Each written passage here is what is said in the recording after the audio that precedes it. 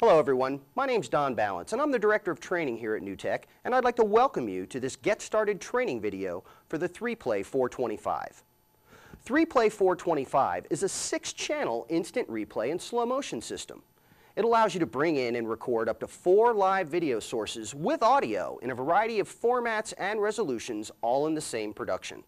It also features two independent outputs. You can easily create events which can be viewed from multiple camera angles and at variable speeds. You can play out of one of the outputs while setting up the other one, or you can use them both together. You can also use the playlist to create melts or highlight reels quickly with dissolves between each of the replays and a music bed.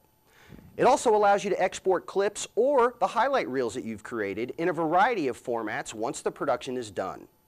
When you open the box, you'll find the 425 unit itself. This is the black 2U rack mount device.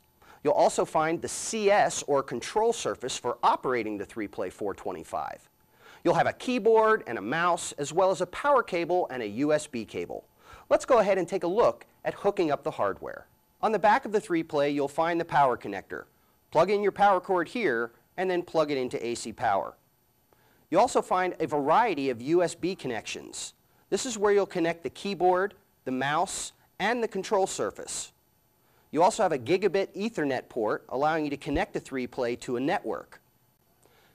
Next you have your video card with two connections on it, a DVI connector and an HDMI connector. The DVI connector is the main interface out for the 3-play 425. Connect your main interface monitor to this DVI port. The HDMI connector is used for the multi-view out of the 3-play 425. So connect a second monitor via HDMI to this port for the multi-viewer. Next you have your video ins.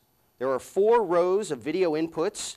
Each one is comprised of an SDI input and an analog input. When working with high definition, you can come in as SDI or component when working in standard definition, you can come in as SDI, component, composite, or YC. You also have two video outputs, rows 1 and 2. Row 1 is video output A, and row 2 is video output B from the 3-play. The outputs are also comprised of SDI and analog out. There's another video output in the HDMI port and this is a switched output. Depending upon what output you have selected on the control surface, either output A or output B, the output that is selected on the control surface is what will be output this HDMI port. This allows the 3-play operator to switch from output A to output B out of one output from the back of the 3-play.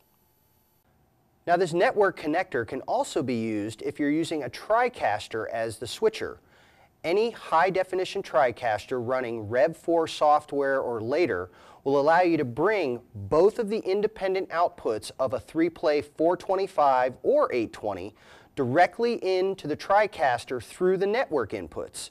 This means you still have all the live video inputs available in your switcher and you're bringing your instant replay outputs from the 3-play in through the network inputs of the TriCaster across the Ethernet cable. Next we have our audio input and there are four stereo pairs of audio input, both XLR and quarter inch jacks.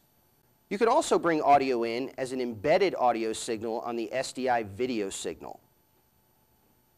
There are also audio outputs. You have one A and B and two A and B as well as a headphone jack.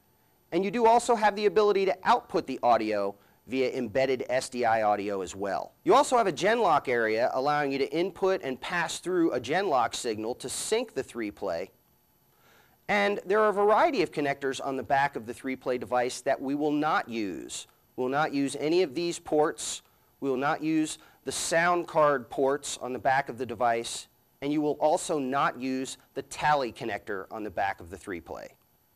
To access the front of the device, you want to open the right side door and once you've opened that door, you'll see a power switch to turn the device on and off, as well as a reset button.